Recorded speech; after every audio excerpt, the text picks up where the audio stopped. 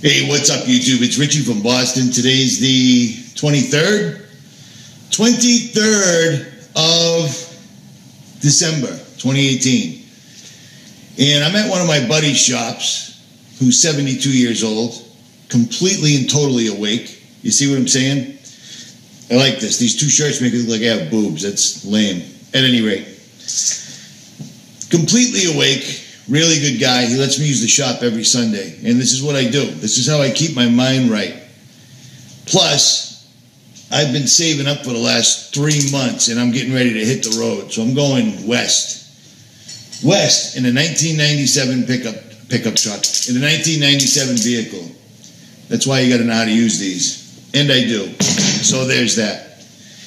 At any rate, so while I'm working, I've been here since 6 o'clock in the morning. It's 2.30 in the afternoon right now. The sun's been out all day. All day.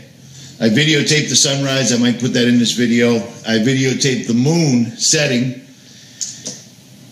Well, while I'm working, I'm listening to people like Steve Quayle, Timothy Alberino, myself.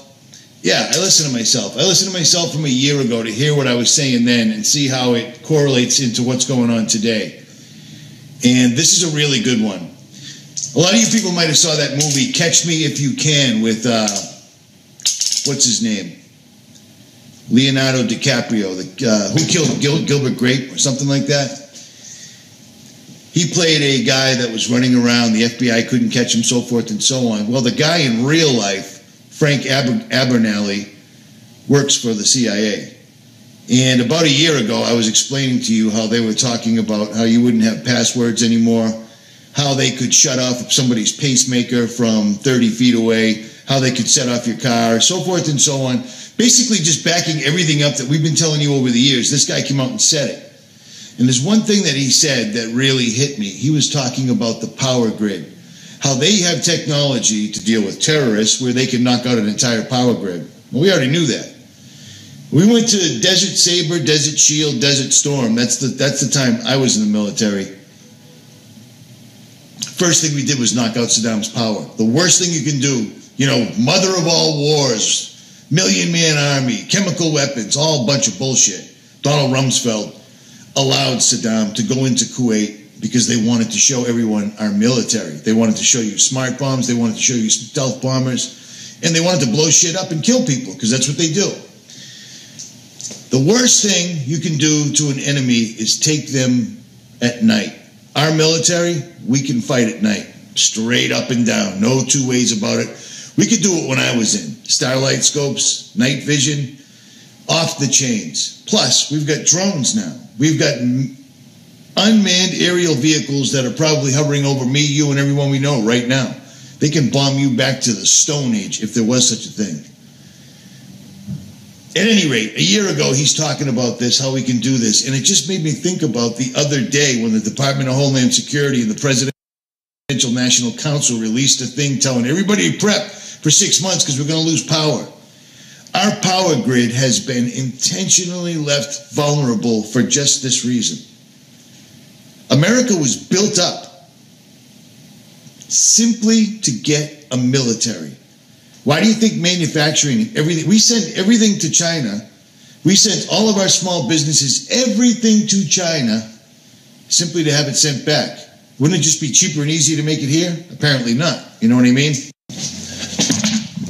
Nice. Fucking A. What's up, YouTube? It's Richie from Boston. I was making a video while I was at my buddy's shop and my camera died. Because why wouldn't it, right?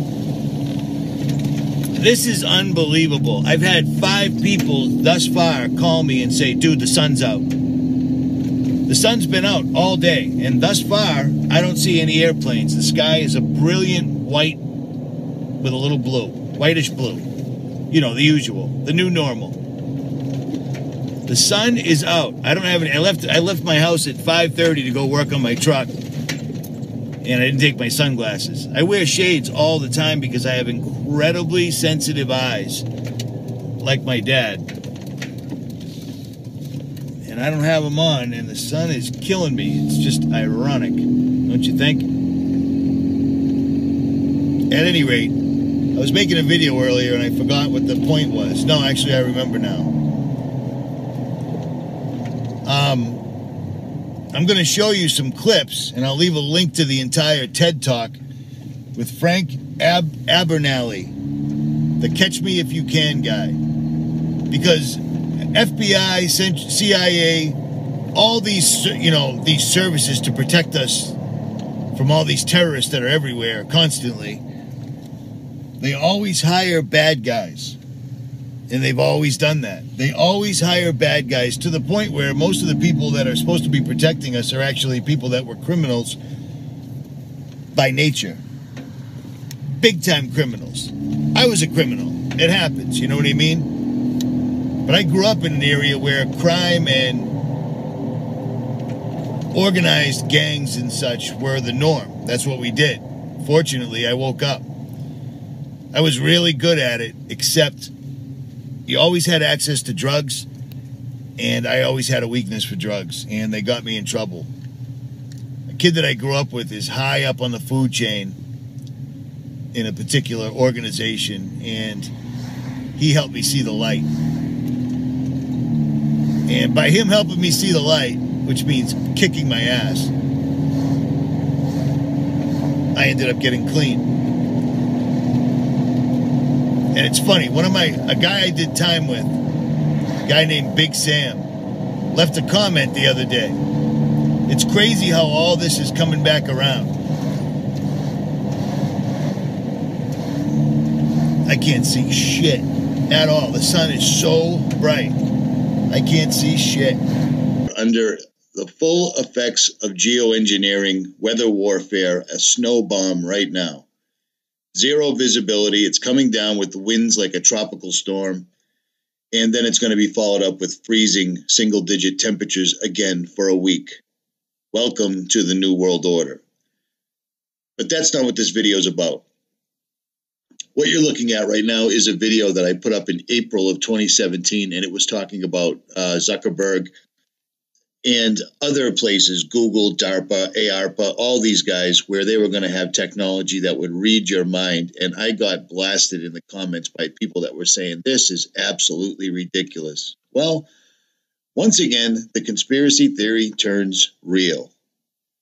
Now, many of you are probably familiar with this movie by Steven Spielberg that was about Tom Hanks and uh, whatever this kid's name is, Leonardo DiCaprio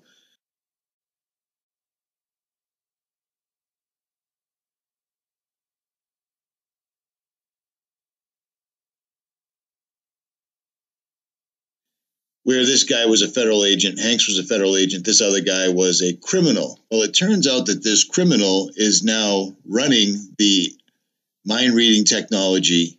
Frank Abagnale speaks. You will want to listen to this. And unfortunately, um, there's good news and there's bad news. First of all, the good news we will be doing away with passwords in the next 24 months. Passwords will leave the world, there will be no more passwords. There is a new technology called TruSona. That's T R U S O N A, stands for True Persona. It is a company in Scottsdale, Arizona that created a technology for the CIA, which we have used now for the last few years. That technology, uh, and I was an advisor on that technology for the CIA, so I'm an advisor on bringing it to the commercial world. But it was the ability for an agent to send data back from the field, such as Afghanistan, on their iPhone, and that Langley would know 100% that is the agent on the other end. 100% identify the person on the other end of the device. That's a level four security. So the, they basically said, what if we brought this to level two security? And we did away with passwords. So immediately when they announced that, Microsoft gave them $10 million and said, I'm in develop it. So Microsoft is going to use it on all their gaming, all their access to their computers, etc. We now have the ability to identify who the person is on the other end of that uh, device. And when you go to their website at TruSona, they actually show you how it's done. So they show you demo videos there that are three or four minutes long that show you how it's done. That's great. Passports are stag- uh, passwords are stagnant. They should have been gone a long time ago. It's why we have most of the problems that we have today. So it is very important that we get rid of passwords. And just in case you didn't know, If we take a bank like a Bank of America, they spend about $6 million a month in their call center resetting passwords. Save that bank $100 million a year to eliminate the use of passwords. So that's the good part of it. And I think that'll eventually do away with Social Security numbers. You'll still have a number assigned to you for the government purpose. But when I go buy a car, or I go to the doctor, I don't have to give them a number because they already know who I am through my device. So I won't have to provide a Social Security number. So I think that's a good part.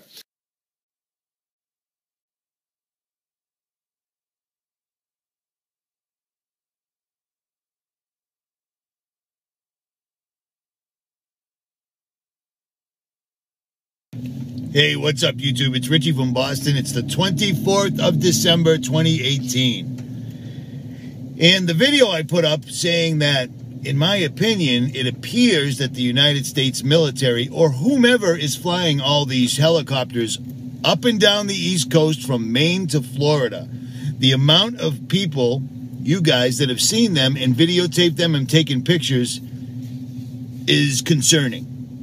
Well, I wake up this morning and I got not one, but two copyright strikes against the same video for the same segment. For whatever reason, um, Reuters, Associated Press, UK, had an issue with that. So they gave me two copyright strikes for the exact same thing, which, if you're a YouTube content creator like myself, that's not how it works. So, at any rate, I took the videos down because I don't need this shit right now. And I put the video right back up again without Donald Trump telling everyone how great the Clintons were. They don't like when this stuff is exposed. Long story short is if you've been making videos for about 10 years, you learn a couple tricks, don't you? See, my videos aren't high tech. I don't incorporate music and all this other crap. Once in a great while, but it's not how I make videos because that's not what this is. I'm trying to tell you stuff as it's occurring. I'm not trying to entertain you. Sorry. Maybe once in a while, you know what I mean? But for the most part, no. So the video's going right back up. The video I put up last night, I had to I had to schedule it because it was 4K video and YouTube takes an entire 24 hours to upload 4K, which is why I did what I did the premiere thing, I don't know what the hell that was. Whatever, I don't know. But my point is,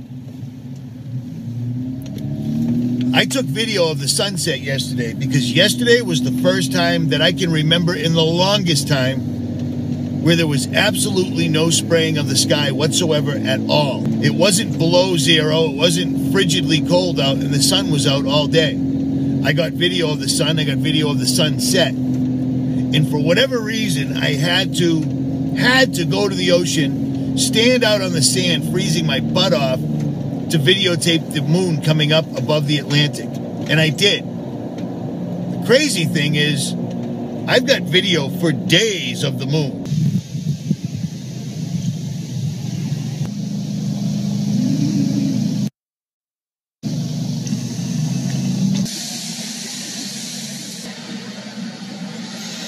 Always the same. It's the moon, it's the moon, it's the moon, it's the moon. There's nothing moving around, there's nothing swimming around. I literally caught what looked like the moon turning from a fluid from all the jagged lines, and it wasn't atmospheric lensing, it was too cold, and the sky was completely clear. I mean, I, I, I did an extreme close up of one of the stars of the Little Dipper. No problem. The moon appeared to be coming out of the ocean and turning from a liquid into the white solid disc that we all see. And I've got it on video.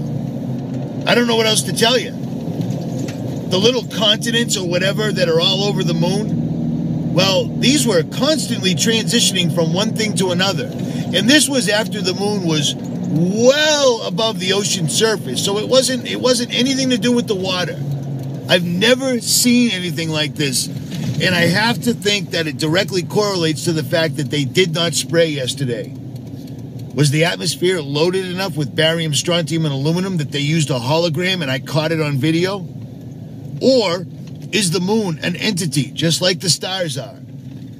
Because the stars aren't distant suns, they're little bursts of what looks like to us plasma or whatever and I got it on video. I'm going to show you some examples. Somebody sent me a link from some guy in the UK that says I'm a spy. Because how do I make videos like this when I'm in my truck? But then suddenly, somehow, I add links and other content, some sort of editing magical voodoo.